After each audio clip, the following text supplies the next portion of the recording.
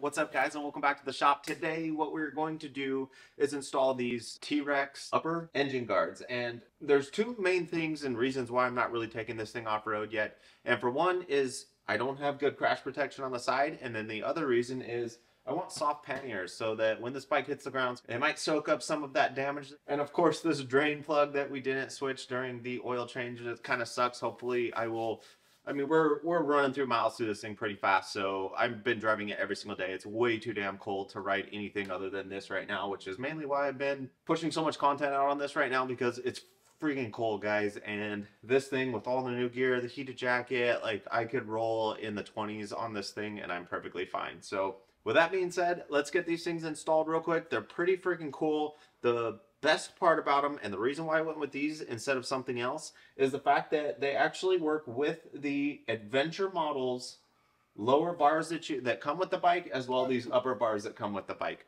So these completely install on their own without having to remove or replace or buy different bars so that the money we spent on this bike gets to go a little bit farther than just swapping out parts because that would totally suck. So the first thing I'm going to do here is go after these little 8 millimeters. We're going to take this skid plate off because I need to be able to see back here. So there are four 8 millimeter bolts holding on this skid plate. There's a 10 millimeter nut on the back side. There we go. Make sure we save this little washer that comes with it. Here's our nut. There's one. This one in the back here does not have a nut. And we do have a nut on the back of this one. There we go. All right, so the next thing to go for is these brackets right here. They have a 12 millimeter bolt running all the way through and a 12 millimeter nut on the other side. There's one on the bottom here, one on the top. We need to take out both of these. And the kit actually come with replacement bolts for the addition of these engine guards. They're on there pretty good. There's our nut. There we go. These bolts are a little tight in here, and that's because it's holding both of these bars in. You might have to finagle a little bit, moving all this around, shaking each bar. And of course, sometimes you can get a little impatient as well. Sometimes things need a little extra effort. There we go. All right, our next step is to go after this four millimeter bolt right here, which is just holding on this little kind of plastic cover here. There is the little plastic washers, don't lose those. And this just pops straight off. And apparently so do these little rubber pieces. So we need to put those back in before we put this back on because that'll be a total pain in the ass and this won't go on right if we don't do this right here and put these rubber caps back in. This 12 mil right here, go ahead and spin it out. So here is our first bar that we're gonna install. Place this, we'll assume around. Yep, there we go. We got a weaseler in around and it looks like we are swapping out four of the bolts.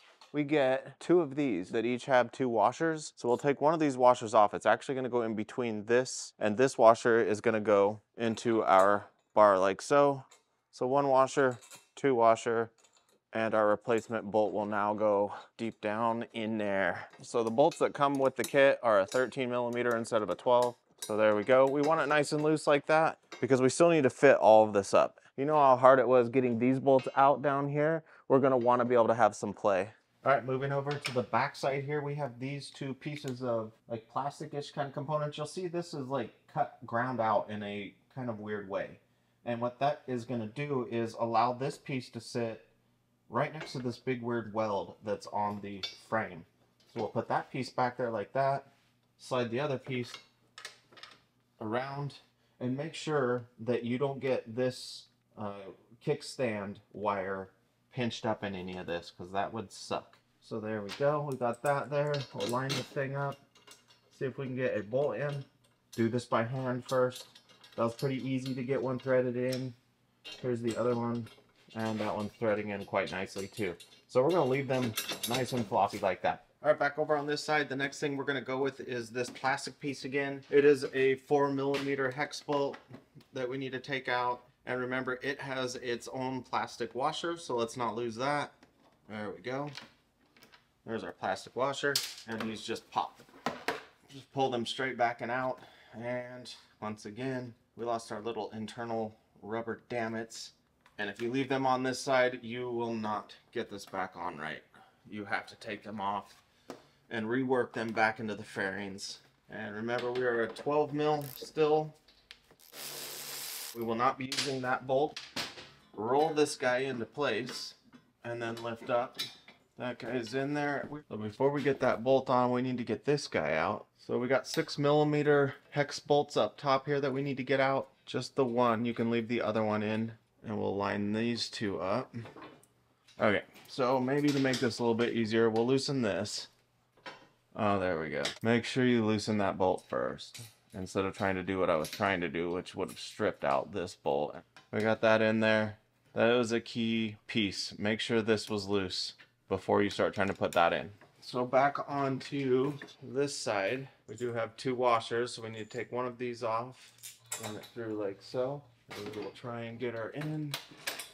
And of course, if you're having a hard time with it, annoying. Okay, so so what I was struggling with here is if you can see, there's obviously the fairing, and then there's this piece, and the bolt goes through this piece before it hits what it actually screws into.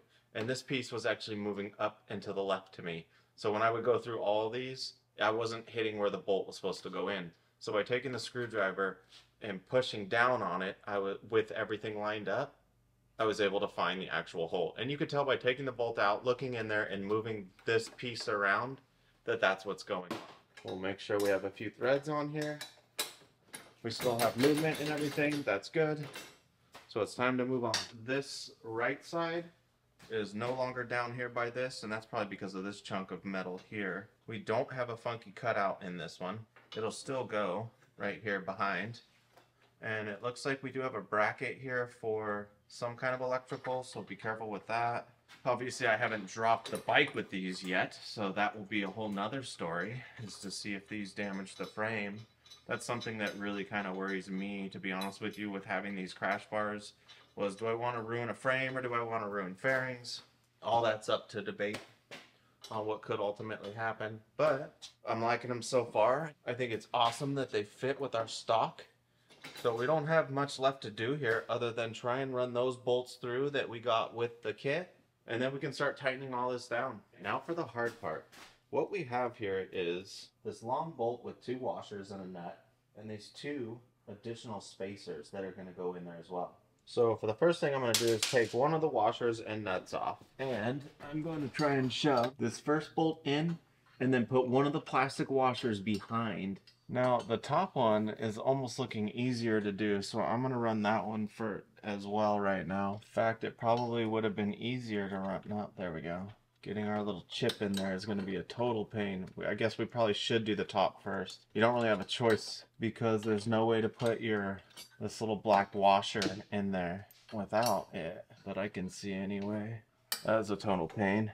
They're definitely needed in there, but they are very difficult to put in there. So maybe a pair of needle nose pliers. There we go. Ah, that's nice. That lines up. All right, needle nose are the way to go.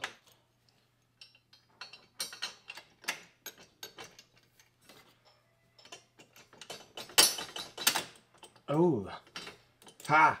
Do them both at the same time and wiggle. Yes! Fudge yeah. That was totally it. That's the ticket. So I'm going to put this spacer in here you want to get this top one in first. What I found is the needle nose are probably the easiest way to do it. There we go. Yeah, this is almost a two-person job right here. Ooh, I got her to go in a little bit. If you're gonna do the tapping, be very, very careful. You'll just ruin all the threads, which would obviously suck. Ha! Did that work? Yeah, goddamn right it did. Look at that. Holy effing frustration. Nice. Wow, am I getting lucky? There we go.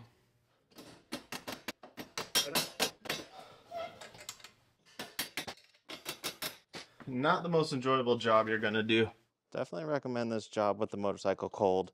This exhaust would suck. It would be hot as hell. Those are going on pretty good. These are what I'm gonna use as the first pieces to tighten. So the bolts that we ran through, they are six millimeter and a 13 inch in the back. So there we go. Get the other one up top here.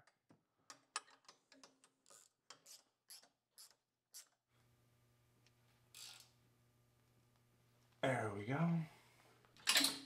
And of course, with everything, make sure there is thread locker on all of this. Some kind of blue 242. Put on everything except for, really these are lock washers, so they should be good without any Loctite, but every other bolt needs Loctite on it. So these are up here are five mils. Go ahead and run them down. There we go. Those are good. These are good. Get to the other side. We'll tighten these two down. And of course, try and make the gaps the same on both sides if you can. Bounce back and forth between the two. These are six mil. We'll go ahead and run them down. Still got these guys up here. We'll run them in. And then we should be able to just pop our little covers back on pretty easily. Ah, there we go. Put our little four millimeter back in here. Make sure you still got that washer. And get this guy tightened down. All right. Our little plastic shield back on. Little four millimeter bolt. Last thing to do, obviously put our skid plate back on. I think that's going to be the hardest thing is getting our nut back on. there we go. So there's one nut. Of course, like putting these bars on, we will leave this loose. That is a locking nut, which is cool. There's the bottom one. Then the two on the other side. And be careful not to lose the extra little spacers that is inside. This is a much tighter fit with the new bars, but it does work. There we go. Last and final.